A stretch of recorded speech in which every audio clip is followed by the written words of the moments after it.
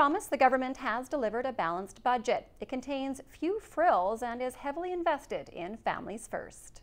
Today's budget, Mr. Speaker, we are building on that with a number The of finance minister has introduced a 2% income tax increase for those earning more than $150,000 beginning January 1st.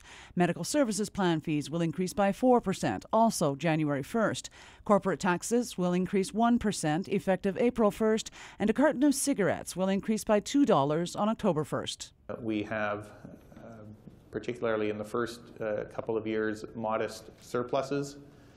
Um, and uh, those surpluses are significant uh, both in terms of uh, managing our debt to GDP ratio, but also in terms of any uh, additional flexibility uh, we may wish uh, to have. The budget is heavily invested in the Families First initiative. It provides a one time grant of $1,200 for children born in 2007, and it will provide an early childhood refundable tax credit of $660 for families with children under six years of age, effective April of 2015.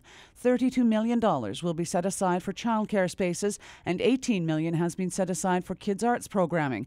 de Jong says the budget also has some modest spending. The uh, Sports and Arts Legacy and Creative Futures uh, funding, uh, $13 million. Uh, the Agricultural Land Commission will be uh, receiving uh, some additional monies in the neighborhood of $4 million to deal with some of the pressures they have in processing in a timely way applications. However, the opposition says the budget is flawed and reminded British Columbians that past Liberal budget targets have not been met, especially in election years. Cheryl Jan, CKPG News.